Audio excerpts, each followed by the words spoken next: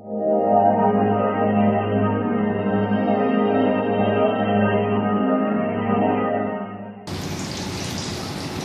chào quý vị và các bạn. Sau đây tôi xin trình bày với các bạn các bước để thao tác bảo trì và vệ sinh một cụm y lọc của cụm bơm nước sinh hoạt.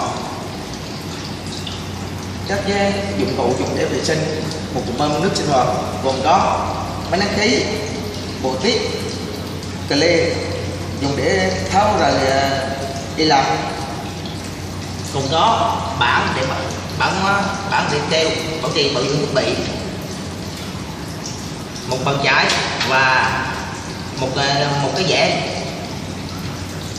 đầu đầu tiên ta phải kiểm tra tủ điện. Tắt nguồn điều khiển cho cụm bơm tắt.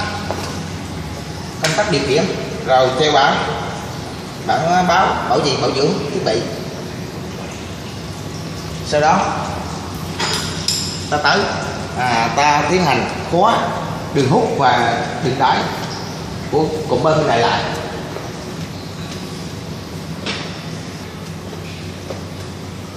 Sau khi khóa xong ta tiến tiến hành tháo ờ, đi lọc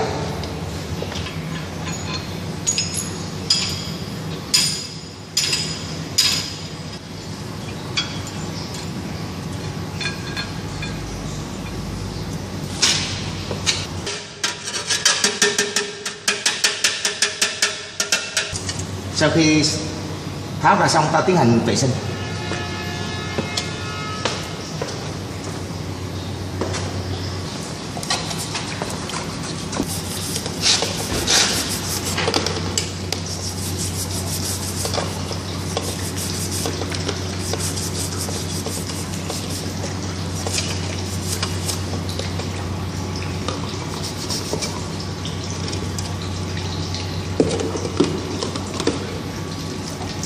Sau khi vệ sinh bằng nước xong ta chuyển qua dùng bình dùng ờ, bình ờ, nén khí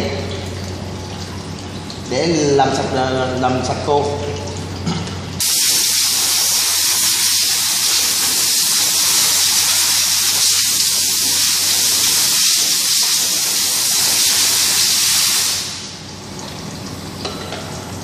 Sau khi đã vệ sinh sạch sẽ ta tiến ta cũng tiếp tục tiến hành vệ sinh uh, Ờ, của phần của phần thân của của y lạc này.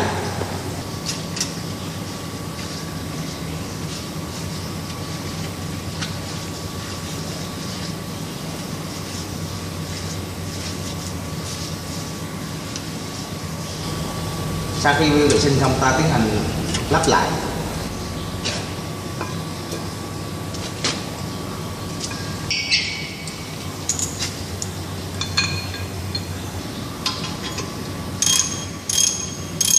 Khi lắp lại chúng ta cần phải chú ý chú ý là cần phải siết à, đều và đấu xứng giữa các con ốc để à,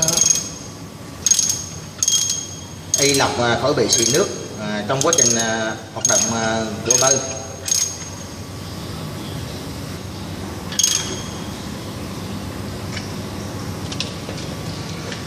quá trình vệ sinh y lọc đã hoàn tất. Cảm ơn quý vị và các bạn đã quan tâm theo dõi.